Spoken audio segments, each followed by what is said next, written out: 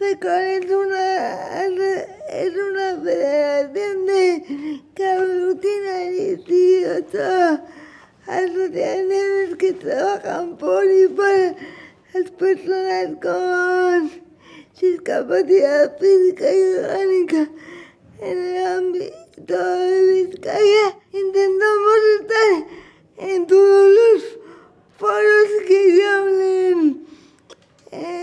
Sobre temas de mujer o, problemáticas de mujer, porque es la única manera de que nos, de que se nos ve. Es un paso más a romper con, con, contra ese iceberg con el que nos encontramos.